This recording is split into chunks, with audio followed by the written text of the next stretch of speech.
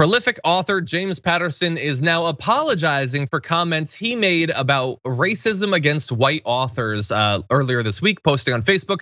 I apologize for saying white male writers having trouble finding work is a form of racism. I absolutely do not believe that racism is practiced against white writers. Please know that I strongly support a diversity of voices being heard in literature and Hollywood everywhere. And this comes after days of criticism. Uh, Patterson, by the way, is white, if that's not clear, and 75 years old.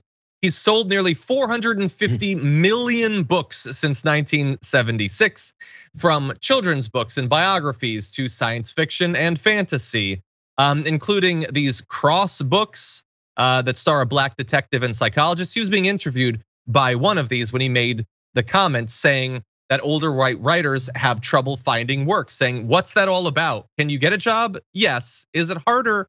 Yes. It's even harder for older writers. You don't meet many 52 year old white males, which could not be more untrue. Literally all of this. Um, but anyway, Jayar, uh, it's good to see the apology if potentially under duress. Oh, this is the thing, man. Uh, first off, I'm not sure where he got the idea from in his head that this was the case that white writers are being shunned and reverse racism is happening. I can't believe we're going through all this. All people have to do is look. Like, I don't know, maybe he was just having some feelings, he had some assumptions. Sometimes people say things as fact and they are just, it's really their opinion. Uh, but in not knowing exactly what the situation is, which was fleshed out later, which I think led to this also apology, where are you coming from with this? What is it that he's seeing? Because the exact example he gave a 52 year old white man, I'm not sure why he said 52.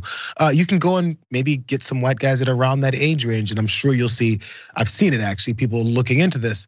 Tons and tons of white writers that are being uh, published, that are being accepted. They're on different people's. You want rosters. the evidence? There, there very much is. It turns out. So his publisher, Hachette, found that 34% of contracts with new contributors went to authors or illustrators who are black, indigenous, or people of color. That is a small minority, uh, compared with 29% in 2020, 22% in 2019. So the numbers are becoming a little bit more even, but they're not even. Within the company, about 65% of the workforce was white as well. 78% of employees in senior manager roles were white. So the publishing industry is still dominated by white people. And then let's see, uh, Penguin Random House, their contributors, authors, illustrators, and other creators 75% were white, 5% Hispanic, 6% black, 7% Asian.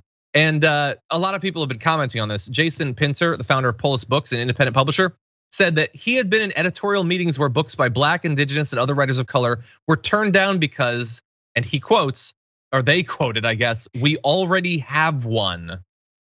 Mm. That's a thing that happens. That's the experience of people who are not necessarily like James Patterson, who haven't been writing for half a century, who haven't published 158 plus novels, who don't pull in 90 million dollars a year in books that he writes. Although to be fair, he apparently uh, operates this uh, like basically a factory where a ton of writers write books for him based on his outlines Jesus. and all that. It's hard to say to what extent he writes any of his books these days. I don't know. I don't read him and I don't particularly care. I'm certainly not going to start now.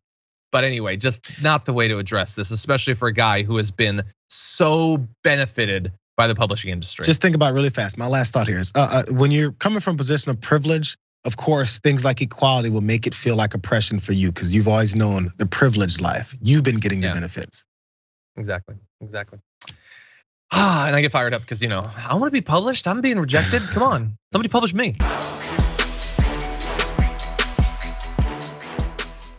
For more political news breakdowns, interviews, stories of activism, and me trying my hardest to care about the occasional big celebrity news story, subscribe to our YouTube channel at youtube.com slash the damage report. And you can ring the bell wherever it is so you don't miss anything.